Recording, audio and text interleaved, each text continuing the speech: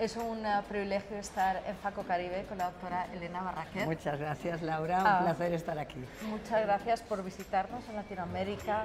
Quería que nos hablaras un poco de la magnífica presentación que acabas de dar, explicando el gran trabajo que se hace en la Fundación Elena Barraquer, cómo surge, cómo se desarrolla especialmente estos últimos años tan complicados y cómo si alguien quiere participar puede participar, porque me imagino que hay una serie de requisitos y de cosas que, que la gente tiene que saber.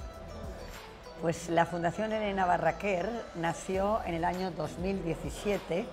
Yo hasta entonces era la directora ejecutiva, presidenta y directora ejecutiva de la Fundación Barraquer.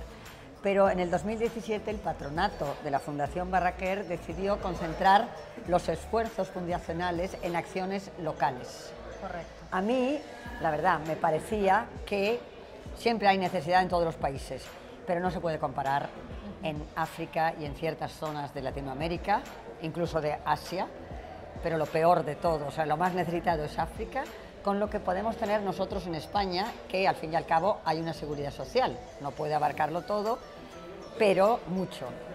Entonces yo decidí pues montar mi propia fundación, la Fundación Elena Barraquer, para dedicarnos exclusivamente a esas campañas en África. La Fundación Barraquer, además de las campañas, tenía otros fines fundacionales como la investigación, los tratamientos locales, que eso es lo que se dedicó a hacer. Empezamos poquito a poco, como ya has visto en la presentación, cada el primer año hicimos una expedición, después fuimos sumando. Durante el COVID fue difícil porque tuvimos que suspender 15 meses, no había posibilidades de viajar. Planeábamos una, una expedición y al cabo de un mes a lo mejor volvían a cerrar el país donde teníamos que ir. Esto nos pasó varias veces en Madagascar, hasta que finalmente esta Semana Santa conseguí ir.